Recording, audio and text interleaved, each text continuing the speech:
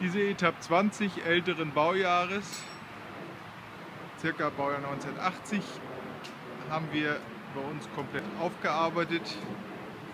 Das heißt, das Gelcoat wieder aufpoliert und der Wasserschiff komplett neu aufgebaut mit Grundierung und Antifouling. Alles gereinigt und wieder ein schönes Schiff draus gemacht. Wir gucken mal rein in das Schiff.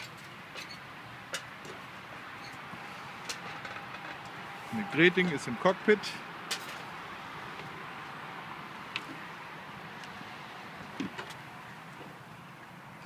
Kocher ist im Schiff drin. Die Polster sind noch ganz anständig. Großer Erste-Hilfe-Koffer ist auch mit dabei. Diverse Elektronik, wobei wir nicht sagen können, ob das alles noch wirklich funktioniert. Ja, es sind vier Schlafplätze in dem Schiff. Vorne im Vorschiff für zwei Personen und jeweils die zwei Salonbänke mit Enden als Hundekoje.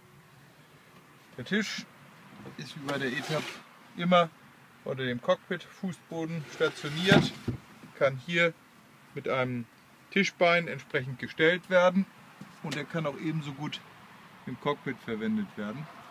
Die beiden Wachskisten am Heck haben viel Platz. Man kann sogar den Außenborder dort reinlegen für Tank und Segel. Ist überall Platz genug vorhanden. Im Vorschiff gibt es noch eine runde Luke. Plexiglas-Schott ist noch sehr gut vom Zustand her. Das ist ein wichtiges Teil immer bei der Etappe 20, was in dem Baujahr häufig mal kaputt geht.